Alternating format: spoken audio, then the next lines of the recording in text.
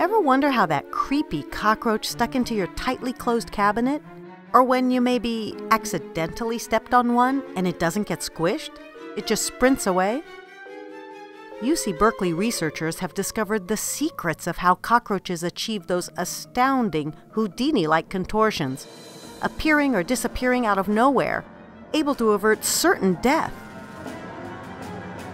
And they're now using this discovery to build robots with those same extraordinary powers. Putting the American cockroach through a series of obstacle courses, the researchers found that even though its shell or exoskeleton looks stiff, it's actually malleable, allowing the roach to flatten itself all the way down to just a quarter of its height. The experiments showed these roaches can withstand almost 900 times their body weight without getting hurt. That's like